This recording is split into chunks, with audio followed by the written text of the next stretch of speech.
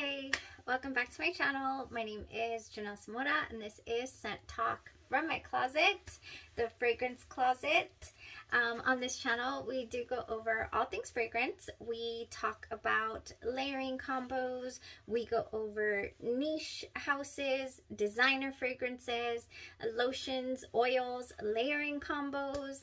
Um, if I've heard about it, you know, I might want to give it a shot on the channel and fill you guys in on how, you know, the results and how things wear. So if that's something that you're interested in, go ahead and hit the like button, subscribe to the channel, and um, hit the notification bell so you'll be notified two new videos. Um, we also like to focus on one, uh, I was going to say channel, I always want to say channel, um, one perfume house at a time or one topic at a time. And so this week we've been focusing on Juliana's perfumes um their their extract the perfumes so this is a uh, house that does inspired by fragrances and they actually tackle some of the most really really hard to find or uh, expensive niche fragrances um or even designer or private uh designer private lines uh, for example the armani privé line um, by our by the Armani house, the designer house. Uh, they have one called Bad Bee, which is uh, the Rouge Malachite and it is by Armani Privé Rouge Malachite, and we tried that out. So um, normally we'll just go through, you know, if I have several, we'll do first impressions, and then out of that lineup, if you're interested in knowing more about that fragrance, then you'll tune in for the rest of the week, and I will update my wear tests, my results, uh, what that fragrance gave on my skin, and the performance, longevity, all that good stuff. Um, so we've done a couple already. We've done Bad Bee. We've done Oud Orange Imperial, which my uh, little one was here with me, my sidekick, on Saturday. We went through all eight samples. She chose the Oud Orange Imperial, and then we followed up on Sunday with the results. Um, and then for today's wear, I chose to wear Red Carpet Affair. Um, oh, where are my notes? So this is a beautiful fragrance. So this is Juliana's Perfumes, like I said. It is an inspired by fragrance house. It is a really, really affordable way to get your nose on some niche fragrances, some new fragrances that you've never been able to smell before, which is what I'm doing. I've never uh, smelled Angel Angelique Noire, uh, by, um, or Noir, I'm not sure. This one has an E at the end. Noir? No, Noir? um, Angelique Noire. I'm just going to say Noir. Uh, Red Carpet Affair. Very, very, very, very beautiful fragrance. I was so, um, you know, just tickled by this one. Okay, so let me go over the notes real quick in a little bit of detail. We have top notes of Angelica, pear, and pink pepper mid notes of jasmine and caraway. What is caraway? I was to look that up and it just, whoo. Then we have base notes of vanilla, angelica, and cedar. Again with the angelica.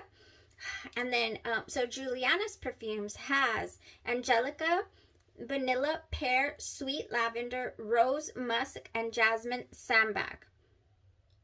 Which is very different. I don't see the jasmine sambac here in the original notes. Um, so Angelique Noire can run you a good, uh, it was released in 2005. It is by the House of Guerlain and it will run you a good four five hundred dollars.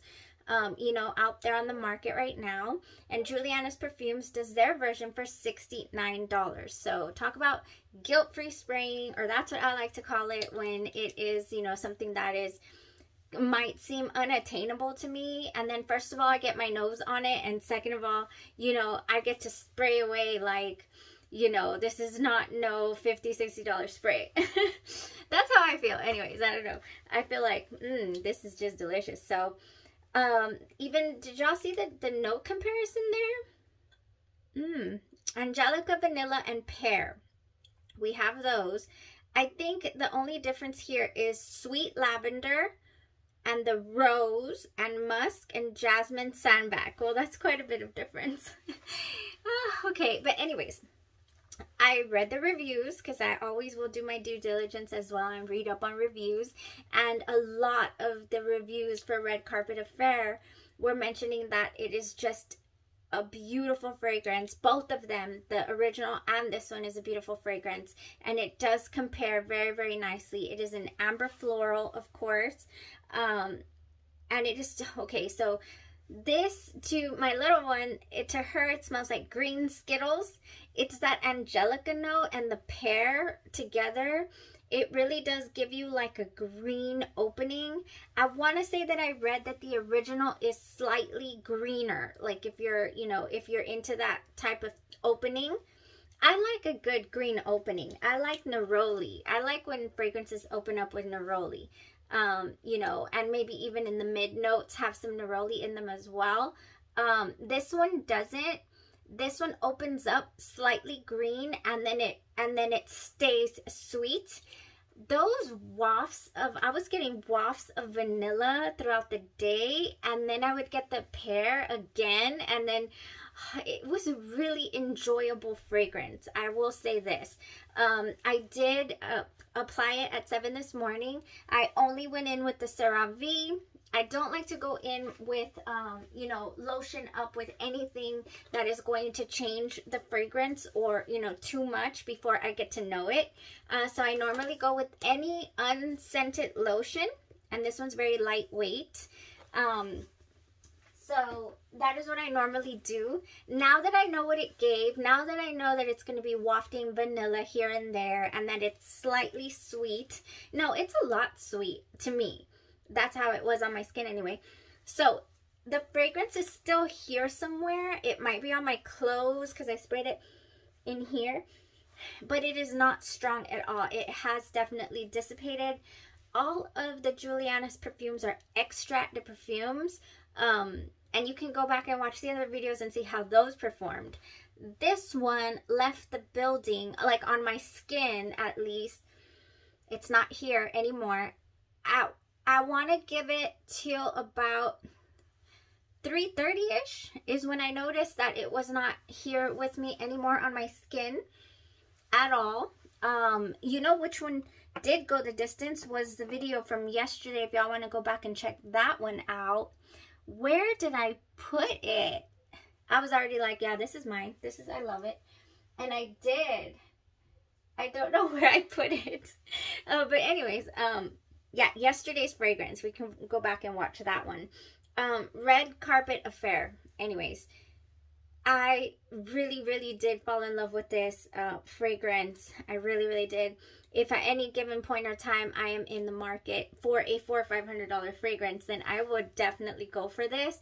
Or if I find it a, a, great price, I did not look up whether or not this was one of those discontinued fragrances.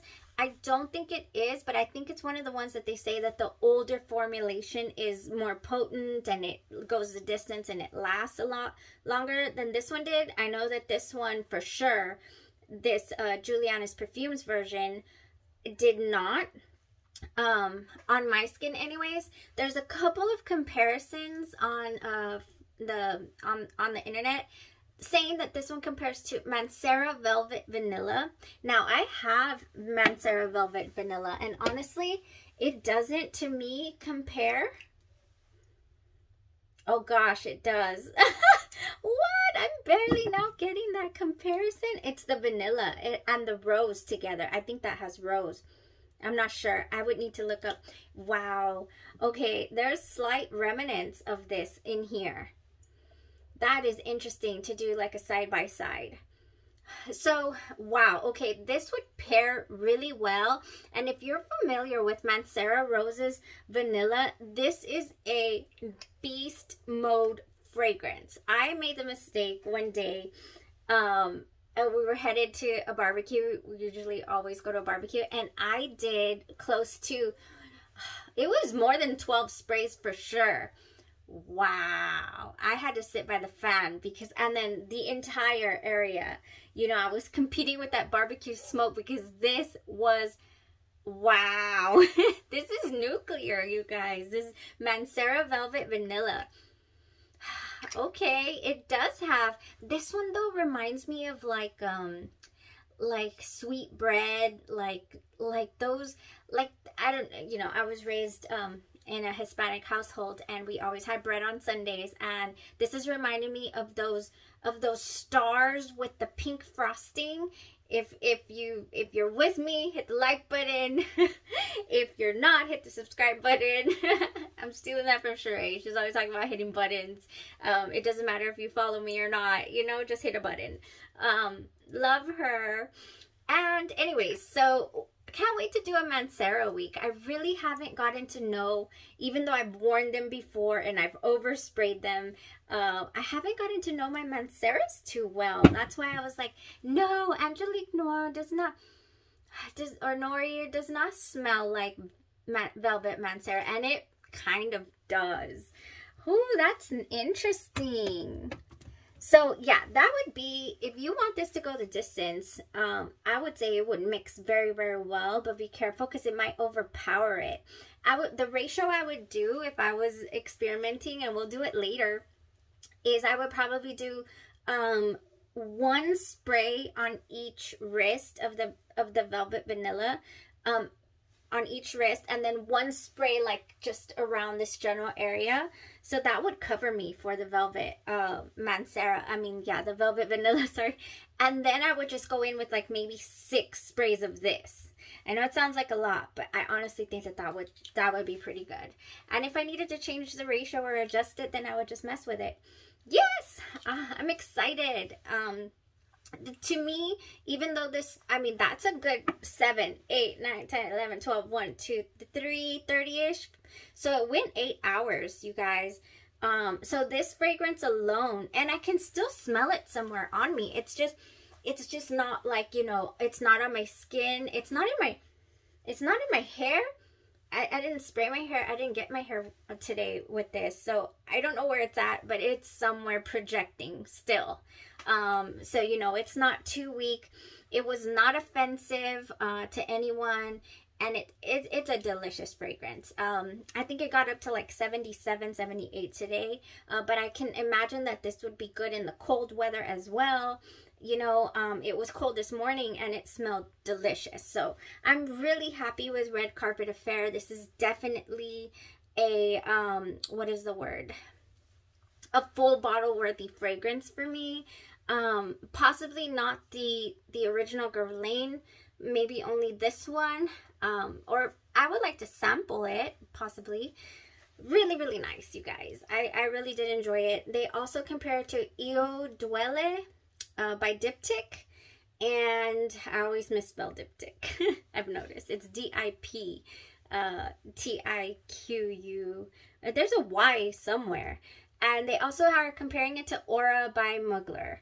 So that's interesting. And I have read that the Aura by Mugler is a little bit green. Like a little bit too green. Like a little bit, you're in the forest taking a hike. Can't wait to get my nose on Mugler and do, do a Mugler week. Um, even though I just broke my Alien Fusion. okay. So that's it for the wear test.